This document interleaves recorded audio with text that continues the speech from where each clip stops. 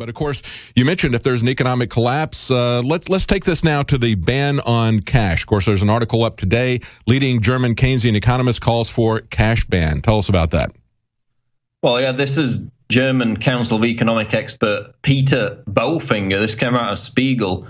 He said, "quote Coins and bills are obsolete and only reduce the influence of central banks."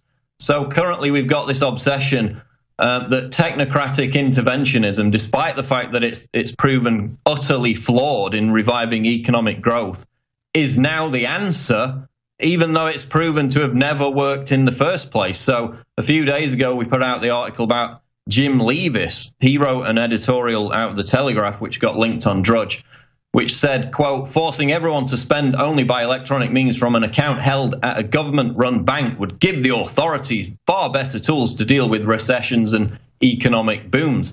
So it's, it's basically Keynesianism on steroids. It sounds like something out of Adolf Hitler's Minister of Finance. What's interesting about Leaviss is when I drew attention to his Twitter account after he put out this article, he not only locked his Twitter account, he actually removed his own picture, his own face, blacked out his own face from his personal Twitter account after he began to catch heat for this article. So wow. it seems as, as soon as they start to attract criticism, they run away like cowards because nobody agrees with them whatsoever. And, you know, we've had Citi's William Buiter come out and say the same thing a few weeks before. We've talked about banks in the UK like HSBC interrogating people on the money they deposit and the money they take out when it's in um, amounts over £5,000. So there's a war on cash, and basically, central bankers are trying to position themselves themselves for the next economic collapse, the, the bond apocalypse, which everybody says is coming, to exploit this situation. And they don't want people having um, a, a, significant amount of control over their own capital. So that's why they're pushing these kind of draconian measures. Absolutely. It's all about control. It's about central bank control. Now, they like to spin it as saying that it is something that is benign and beneficial. But of course, it isn't going to be benign and beneficial if they take away your freedom and your independence. And related to that, I mean, is, is what they're doing with the uh, auto, automotive uh, cars, the self driving autonomous cars saying that they're going to take away. And of course, we've had uh, uh, Elon Musk say it won't be that long before humans will be banned from driving cars. We've got the head of Uber saying that once they get self driving taxis, then uh, individual car ownership will just go away. All of these are control points your movement, uh, your physical movement, and uh, of course, your movement of cash, your control of cash.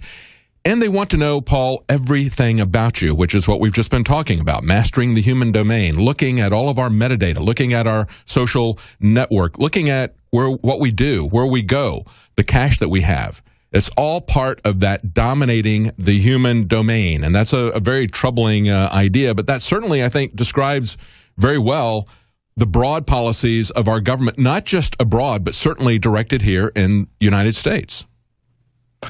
Exactly. And they want you to know that they're collecting all your data, not really because most of the data is very useful, simply for the fact that if you know you're being watched, you self police, you yes. change your behavior, you dissuade yourself from engaging in free speech, from criticizing authority. So just the very notion that you're under surveillance, uh, never mind what information they've got on you, is a control mechanism. And then going back to this quote, this um, column by Leaviss in the Telegraph, he said, "quote If notes and coins were abolished and the only way to hold money was through a government-controlled bank, there would be no escape." So he's that brazen in talking about how people will, their finances will be locked down in prison within this central banker-controlled system you know, it's it's akin to having a bank account where you have to get government permission to take out your money. Yes, We're talking yes. about a tax on financial transactions too.